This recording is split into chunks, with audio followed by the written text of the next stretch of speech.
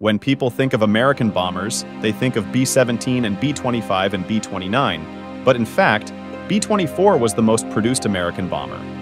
More than 18,000 units were produced, flying all the skies during World War II, from Western Europe, the Mediterranean Sea, the Pacific Ocean, the South China Sea, and the Soviet sky.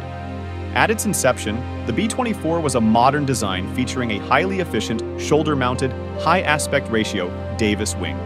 The wing gave B-24 a high cruise speed, long range, and the ability to carry a heavy bomb load.